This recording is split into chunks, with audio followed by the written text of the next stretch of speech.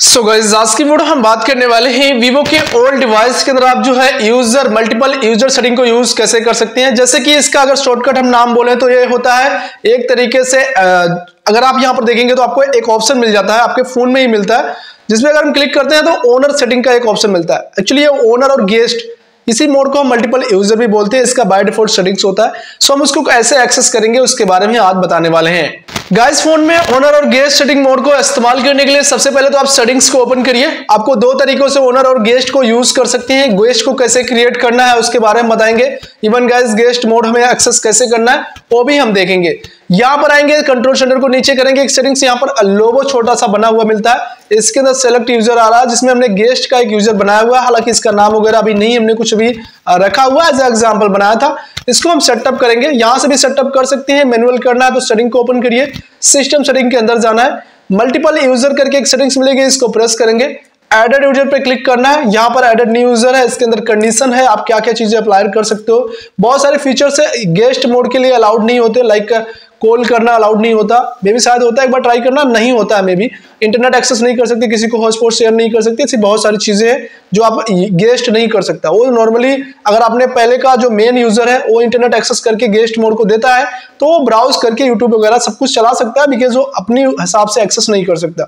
इसको हम ओके पे क्लिक करेंगे। इसके बाद यहाँ पर न्यू यूज़र आ रहा है, इसको एक यूज़र का नाम देंगे। एज एग्ज़ाम्पल मैं अपना नाम यहाँ पर लिखूँगा। अगर आप उस यूज़र का यहाँ पर इमेज लगाना चाहें तो इस पर क्लिक करके चूज़ चूज़ एन इमेज पे क्लिक करके यहाँ से कोई एक यूज़र का नाम दे देंगे। मान लीजिए मैं अपनी ही एक इमेज सेलेक्ट कर देता हूँ और इसको ओके पे हम क्लिक करेंगे। इसके लिए क्रॉप कर सकते हैं इस इमेज को, जहाँ जितना आपको रखना है। इसके बाद सेव टू कॉपी करेंगे। इसके बाद यहाँ पर सेव कर देंगे। क्रिएटिंग हो रहा है और ये क्रिएट हो चुका हमारा एक यूज़र जिसमें हमें अलाउ करने के लिए बोलता है, अगर फ़ोन कॉल्स और एसएमएस कॉल्स आप उस यूज़र को अलाउ करना चाहें तो यहाँ पर टर्न ऑन फ़ोन कॉल्स पे क्लिक करके इसको ओके करेंगे। अब यहाँ पर डिलीट यूज़र है। अगर आप चाहें तो इसको डिलीट भी यहाँ से कर सकते हैं। अब यहाँ पर स्विच टू ओनर करना है हमें स्विच टू विजे जिसमें हमने बनाया हुआ एक ओनर तो यहाँ पर हम क्या करते हैं, अब स्क्रीन रिकॉर्डिंग को अपने हम बंद करते हैं और इसको हम स्विच करके आपको दिखाते हैं, इसमें क्या क्या मिलता है। यहाँ पर एक बार स्विच टू विजे पे क्लिक करके सेटअप का एक ऑप्शन आएगा यहाँ पर।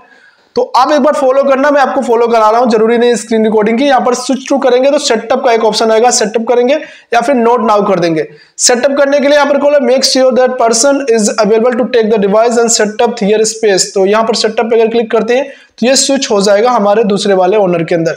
यहाँ पर सेट न्यू यूज़र आ रहा है, इसको हम न्यू यूज़र चाहे तो सेट कर सकते हैं। एज अ न्यू यूज़र पे सेट करके यूज़ नाउ पे क्लिक कर देंगे तो हमारा एक कंडीशन आ जाएगा सब कुछ। इसके एग्रीमेंट वगैरह है, इसको एक्सेप्ट कर लेना। इसके बाद नेक्स्ट पे क्लिक कर देना। अब यहाँ पर वाईफाई कंडीशन मांग रहा है वाईफाई चाहे तो सेट कर सकते हैं। एक तरीके से न्यू यूज़र जा रहा है, ध्यान देना, इसमें गूगल अकाउंट भी अलग अलग बनाए जाते हैं। देखो, सब कुछ यहाँ पर आएगा आपको न्यू डिवाइस के साथ। स्क्रीन लॉक बना सकते हैं फिंगरप्रिंट वगैरह ऐड करना है, सब कुछ कर सकते हैं। अब यहाँ पर यूज़ नाव पे जब क्लिक कर देंगे तो इसका एक नया डैशबोर्ड में देखने को मिलेगा। देखो ये नया एक फ़ोन मिल चुका है टोटल और इसको हम अभी गेस्ट बोर्ड के साथ एक्टिवेट करना है। वारंटी कार्ड भी इसकी एक्टिवेट कर सकते हो नो डाउट यहाँ से। एंड जिस तरीके से आप टोटली इस्तेमाल कर सकते हो इस फ़ोन को। अब देखो, इसमें भी सेम चीज़ें मिलेंगी। इसमें हम अलग अकाउंट बना सकते हैं गूगल का। इसमें अलग अलग चीज़ें एक्सेस कर सकते हैं। हमने फ़ोन कॉल परमिशन इसको परमिशन दे दी थी विजय वाले को।